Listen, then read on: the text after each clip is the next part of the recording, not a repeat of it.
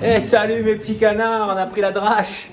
Mais c'est pas grave, on s'est replié à l'intérieur et là on vous fait un petit tuto ragréage autolissant. Et Vincent, qu'est-ce que tu fais? Je m'en rappelle plus du prénom. Alors, primaire d'accrochage quand on veut faire un ragréage. Et là, et là, mes petits canards, il faut écouter mon pote Louis, qui est le patron de Gédimat, là où je me sers régulièrement, et qui me dit primaire d'accrochage obligatoire. Obligatoire, particulièrement en rénovation, particulièrement sur des vieux carreaux, particulièrement sur les tomates. Euh, selon la qualité du sac de ragréage que vous achetez, eh bien, il est possible que sur le sac, il y ait marqué sans primaire d'accrochage. Vous faites comme vous voulez, mais moi, je dirais que un primaire d'accrochage, c'est toujours mieux. Ne serait-ce que pour une chose, et c'est surtout pour ça d'ailleurs qu'on met un primaire d'accrochage, c'est pour réguler la porosité du support. J'entends par là, quand vous avez des supports qui peuvent être légèrement euh, distincts d'une pièce à l'autre, ou je vous donne un exemple concret. Là, dans cette pièce, on a euh, un ancien ragréage sur lequel était collé de dalle lino. Et on a par exemple ici, on avait une cheminée, on a fait une petite dalle béton pour venir la combler. Ça fait deux supports différents. Puis entre les deux, tiens, entre les deux, on a le vieux carrelage. Donc tout ça, ce sont des euh, matériaux différents, qui ont des porosités différentes. Et si on veut un résultat homogène dans le ragréage qu'on va faire, il faut réguler la porosité pour qu'en fait, l'ensemble de la couche de ragréage que vous mettiez, quelle que soit l'épaisseur d'ailleurs, sèche exactement de la même manière. Ça va vous éviter des phénomènes qui pourraient euh, rendre le travail que vous ferez un petit peu euh, irrégulier. Et en tout cas, pour la euh, sécurité, la globalité du bon boulot que vous voulez faire, c'est important que votre agréage tire de manière uniforme. Donc, primaire d'accrochage pour réguler la porosité du support et garantir aussi la bonne accroche du produit. Mais c'est avant tout, comme dirait Louis, pour la porosité du support.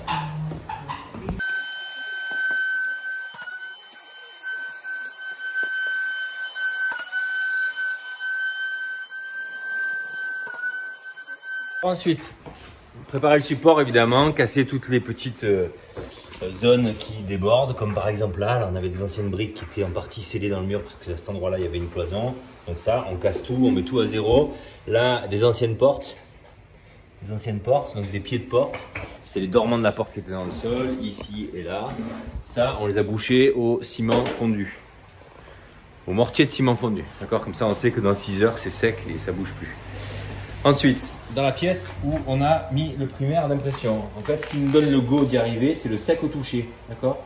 Donc, quand euh, vous mettez votre doigt dessus et que vous avez plus ce résidu là, un petit peu humide qui apparaît, c'est que c'est bon, vous pouvez procéder à votre ragréage. Très souvent, sur les primaires d'impression, il faut se dire que c'est bien de passer le ragréage par-dessus, pas trop longtemps après. C'est-à-dire qu'en fait, c'est mieux de passer un primaire d'impression, d'attendre une heure qu'il soit sec au toucher et ensuite de faire le ragréage que de faire le primaire d'impression et de revenir le lendemain et faire le ragréage. Ok? Sauf si vous utilisez un primaire d'impression haut de gamme, c'est-à-dire pas trop liquide comme celui que nous on utilise, qui est plus épais. En général, il est d'une couleur très particulière. Là, c'est de l'incolore. Enfin, il est blanc dans le seau, mais une fois, une fois appliqué, il est incolore. Si vous avez un ragréage qui est bleu ou vert, c'est souvent des ragréages qui sont presque, c'est presque du gel un petit peu. Et là, dans ce cas-là, ceux-là, vous avez le droit de les passer la veille et de le faire le lendemain, mais pas beaucoup plus dans mon souvenir. Voilà. Alors nous, on va utiliser ça. C'est la marque distributeur de Gédimat. C'est un ragréage de sol auto-licence sol intérieur. Ok. C'est euh, pour faire clair un ragréage basique. Parce que notre plancher, on sait que il est solide, il n'y a pas de problème. On sait qu'on l'a bien préparé, donc il n'y a pas besoin de mettre plus que ça. Si on était sur un plancher bois qui bouge beaucoup, un ragréage flexible, c'est mieux. Dès qu'on rentre dans la gamme des ragréages flexibles, fibrés, qui vont souvent ensemble d'ailleurs, eh bien, on monte en prix en fait. Hein. Ça, c'est un sac qui doit coûter entre 10 et 13 euros, selon le fournisseur, selon la période, selon plein de choses. Dès qu'on monte un peu en gamme, on peut atteindre les 20 euros sur un sac de ragréage haut de gamme. Il faut bien se référer finalement, je pense que c'est ça le mieux, à ce qui est écrit sur les sacs de ragréage ou sur le catalogue des produits que vous propose votre distributeur, parce qu'en fait, c'est très bien détaillé. Les supports admissibles, les euh, épaisseurs admissibles par passe, ça aussi c'est un, un, élément important, c'est-à-dire qu'en fait quand on choisit son produit de ragréage, on le choisit aussi en fonction du travail qu'on a à faire. C'est-à-dire, euh, si vous avez 5 mm à ragler de partout, c'est pas pareil que si vous avez 3 cm. 3 cm, vous allez être obligé, si vous voulez le faire en une passe, de passer par des réglages spécifiques qui peuvent accepter des passes de 3 cm, mais souvent c'est une, c'est une donnée qui va ensemble. C'est-à-dire que là, par exemple, nous, le réglage qu'on utilise aujourd'hui, il va pour des passes de 5 mm minimum à 10 mm minimum. Donc 5 mm à 1 cm maximum. C'est le seul jeu que l'on a. Et si ça ne nous convient pas, parce qu'il y a des endroits où on mettra plus d'un centimètre, eh bien en fait, il faudra le faire en deux fois, il faudra revenir demain dessus. Ok, là, notre réglage, partout j'appuie, je suis sec au toucher, j'ai plus rien sur le doigt quand je mets mon doigt dessus, donc on peut attaquer. Donc là, on va faire une gâchée de deux sacs. Ce qui est très important avec le réglage, c'est de respecter les indications qu'il y a sur le sac. Là, en l'occurrence, moi, sur mes sacs à moi, c'est entre, souvent d'ailleurs entre 5 et 6 litres par sac de 25 kg. Là, c'est 5 litres 5 par sac. Donc on met pile la bonne quantité d'eau dans l'oeil. On met les deux sacs. Dernière chose, quand on gâche du mortier de ragréage, on met d'abord l'eau dans l'oge avant de mettre le produit. Et la dernière chose, c'est que le temps de malaxage, c'est quand même une notion qui est importante. Même si, si genre au bout d'une minute, une minute trente, vous voyez que votre produit, vous il a l'air tout à fait conforme, je pense quand même qu'il convient d'aller jusqu'à 4 ou 5 minutes de malaxage pour être sûr et certain d'avoir un produit parfait.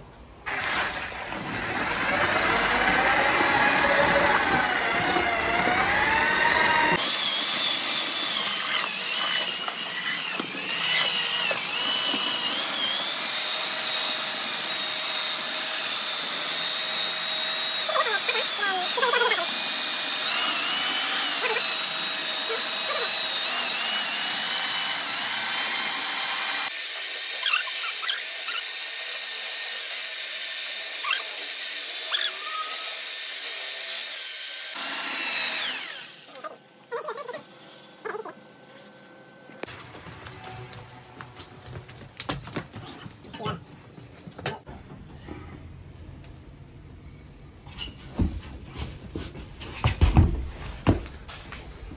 Alors, le réglage. Là, moi, dans cette pièce, ici, en gros, je mets le minimum, c'est-à-dire 5 mm. Et c'est de l'autre côté de la pièce que je viens remonter d'un centimètre. ok le réglage, globalement, honnêtement, c'est très facile. Hein. Si vous voulez faire ça un jour chez vous tout seul et que vous n'avez pas trop l'habitude, ne vous inquiétez pas trop. C'est tout à fait faisable. Là, j'accompagne le produit pour l'amener bien dans l'angle, d'accord Ensuite, je le tire en veillant à ce que le produit partout ait une quantité suffisante pour qu'il s'auto-lisse et qu'il aille jusqu'à la cloison placo. S'il faut l'aider, on l'aide, mais si vous attendez un petit peu, il n'y a pas besoin de l'aider. Là, l'idée, c'est vraiment de venir répartir le produit de partout.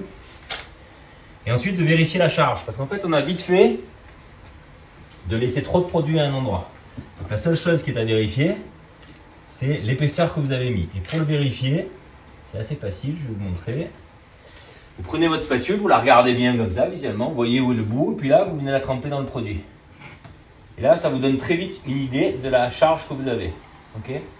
là, par exemple, j'ai 1,2 cm. Là, ici, à l'endroit où j'ai tiré, j'ai 5 mm, donc c'est pas mauvais.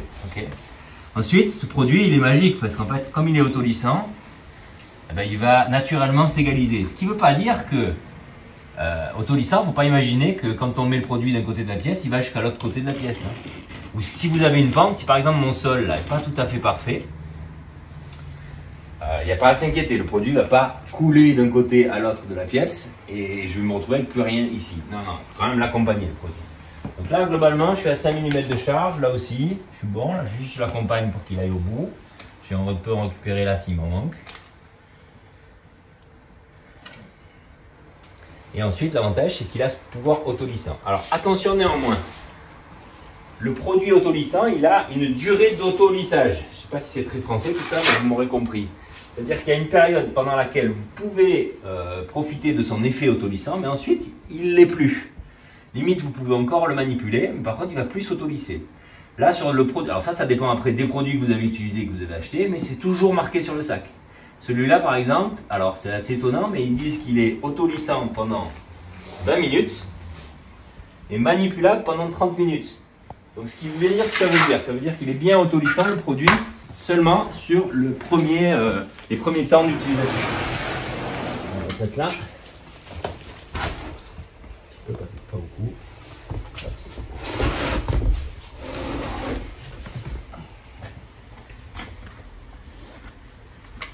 Alors, qu'est-ce que c'est 25-30 minutes, qu'est-ce que c'est? Alors, c'est peut-être un petit peu plus en hiver, c'est un petit peu moins en été, ça il faut en tenir compte, d'accord? Mais en gros, c'est surtout la possibilité de pouvoir faire entre deux applications une gâchée. C'est surtout ça qui est important en fait. hein. On on peut pas avoir tout préparé à l'avance. Là, à chaque fois, on va prendre 10 minutes pour faire une gâchée, pour venir euh, se mettre sur l'autre. Donc il faut que notre produit, il est pas séché pendant ce temps-là, sinon on aura un raccord qui va beaucoup se voir. Voilà, là j'ai chargé l'angle, mais je sais que j'ai un petit peu trop, d'accord? Donc j'hésite pas à tirer comme ça et à venir amener mon produit ici. Parce que mon but ici, c'est de, encore une fois, c'est de laisser 5 mm. Là, je suis encore un petit peu trop. Donc je viens là, je me reprends là. Mais vraiment, vous inquiétez pas, il n'y a pas de coup de main. Enfin, il n'y a pas de coup de main. Bien sûr qu'il y a un coup de main, vous allez peut-être un peu moins galérer si vous avez l'habitude de le faire. Mais honnêtement, c'est la portée de tous.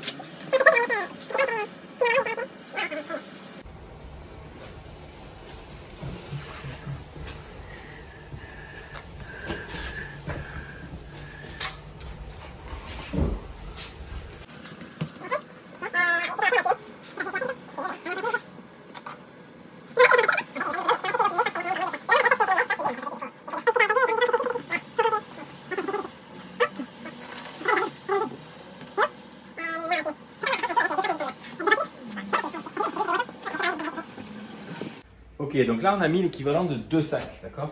Maintenant, il y a un outil exceptionnel dont je vais vous parler, c'est un rouleau à débuler. Ça, c'est pas une obligation absolue, mais si vous voulez vraiment bien faire les choses, c'est exceptionnel d'investir là-dedans. C'est un rouleau à picot en caoutchouc. Alors là, il est sale parce qu'on on a fait une toute petite passe sur un angle, mais il est, il est blanc d'origine. C'est des picots en caoutchouc souple, ok? Qui font environ, euh, je dirais, allez, 12 mm de long.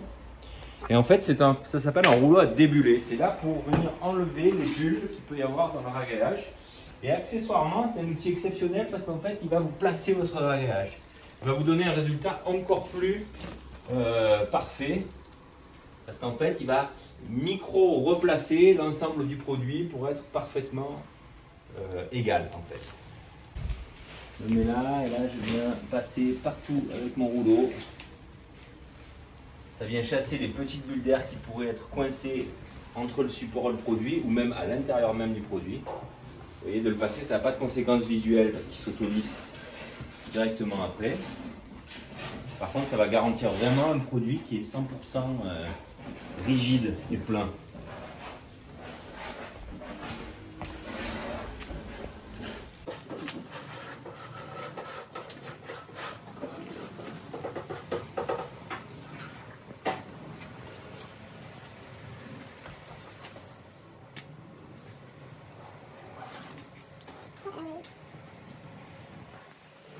ようで、ど。は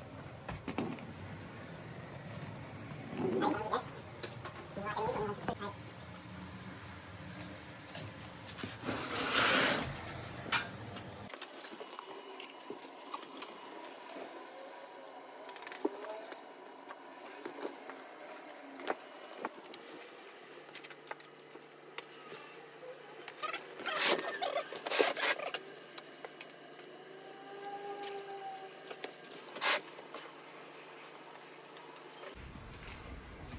Alors quand vous voyez qu'il en manque à des endroits en particulier, vous pouvez très bien en récupérer comme ça un petit peu et hop, venir verser quelques gouttes aux endroits où vous voyez qu'il en manque.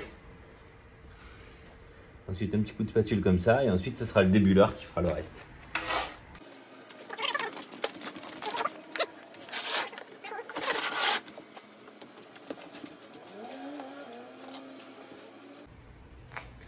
Une reprise comme ça, on repasse par-dessus et ensuite on revient tirer pour pas qu'il y ait un excédent.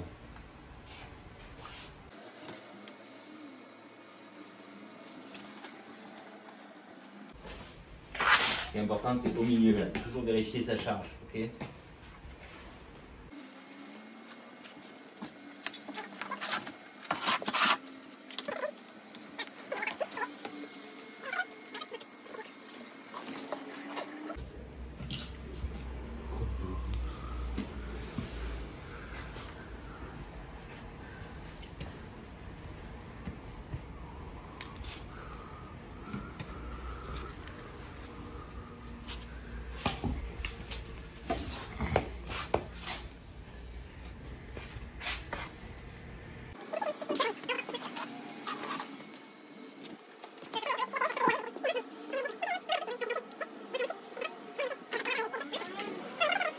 Bon, là, avant de plus pouvoir avoir accès au fond, je passe un petit peu mon débuleur.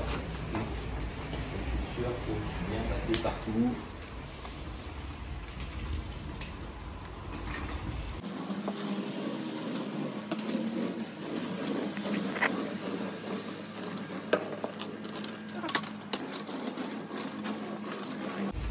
Le débuleur, il va m'aider aussi à, à reprendre les deux, l'ancienne, euh, la première gâchée et la deuxième gâchée en fait. Il m'aide à, gommer un petit peu les, reprises. Par exemple là, on, devine la reprise entre les deux gâchets. Bon, si je passe mon débuleur, ça va un petit peu gommer cet effet-là.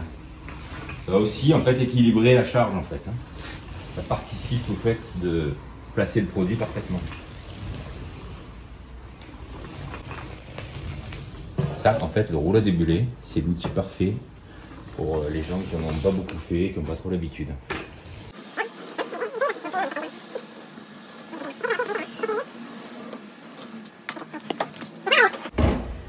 Là, il y a quand même un phénomène où ici j'ai plus de charge, là, sur tout le bout, mais je le savais, hein, c'est ici qu'en fait on va finir avec un centimètre de charge. Donc en fait, là j'ai fait une première passe, c'est un peu passé sous la cloison, sous le rail placo, mais c'est pas grave. Je vais venir en rajouter hop, un petit peu là où je vois que visuellement il y a des manques.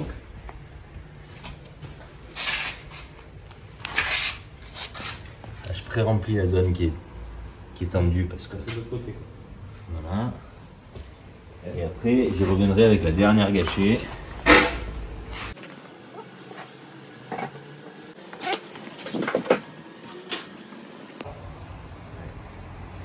Voilà, dernier coup de débuleur sur la dernière zone qu'on a faite. Et ensuite, il me reste à vous dire que euh, maintenant, l'idée c'est de savoir. Donc là, on va le sécher jusqu'à demain. en réalité, au bout de 4 heures, on peut, sur du ragréage comme ça, on peut euh, avoir un passage faible charge, si j'appelle. C'est-à-dire, en gros, simplement marcher pour y accéder, mais on manipule rien. On ne fait pas rouler d'échafaudage, on ne fait rien là-dessus c'est un, un, faible short. 4 heures après. L'idéal, c'est quand même d'attendre jusqu'au lendemain. Et demain matin, on pourra marcher dessus. Et ensuite, il y a quand même une question de délai de recouvrement. Et là, ça va dépendre de ce que vous allez mettre par-dessus. Le délai de recouvrement, le minimum, c'est le carrelage. Le carrelage, au bout de 8 heures, vous pouvez carreler par-dessus un réglage de ce type-là. Mais ça aussi, je vous invite à lire ce qui est marqué sur vos sacs. Ça peut dépendre aussi de votre produit et particulièrement de la charge que vous allez mettre. Nous, dans notre cas, en tout cas, là, au bout de 8 heures, on peut commencer à coller du carrelage dessus. Si maintenant on avait mis un revêtement textile, par exemple, type euh, moquette. Mais en réalité, il aurait fallu attendre un petit peu plus. Alors, je crois que c'est par tranche de 12 heures en général, donc ce serait 24 heures. Et le revêtement qui nécessite le plus de temps de séchage, c'est le parquet.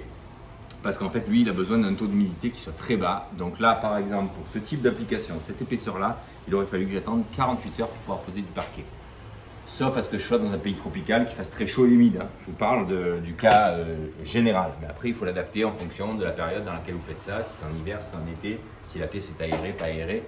Je vous suggère de vraiment vous en référer à ce qui est marqué sur les paquets de vos sacs de ragréage. Il y a beaucoup d'indications dessus. Souvent, les artisans, mes collègues artisans, on lit pas les notices et ça, c'est pas bien, hein, Pascal par là, champion du monde qui déteste les notices. Bon voilà, fin de ce tuto, j'espère que j'ai rien oublié. Si j'ai oublié quelque chose, posez-moi des questions dans les commentaires, j'y répondrai autant que faire se peut. Je vous remercie beaucoup d'avoir regardé la vidéo jusqu'au bout. Laissez-moi des commentaires, des pouces, des likes. Euh, vous savez que c'est ça qui nous aide à progresser dans le référencement YouTube. Merci beaucoup, à bientôt mes petits canards. Bye bye. Quelques images maintenant du chantier en accéléré. Bye